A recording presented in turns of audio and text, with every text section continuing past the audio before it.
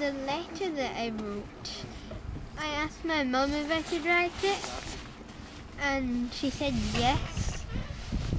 So I wrote it, and I sent it in the post. Then they got it, then they sent a letter back to me. It really gave me hope that my dream comes true.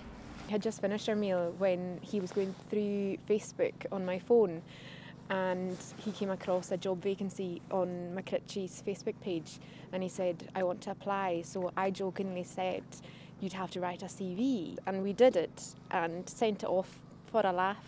And it's now turned out that he's guaranteed a job at the end of it. He is definitely getting a job. Uh, there's a nationwide shortage of drivers at the moment. And uh, I know we've got a bit of time to wait because I think he's only nine. But uh, yeah, definitely, he keeps his lorry clean, he's conscientious, and what more do you want really?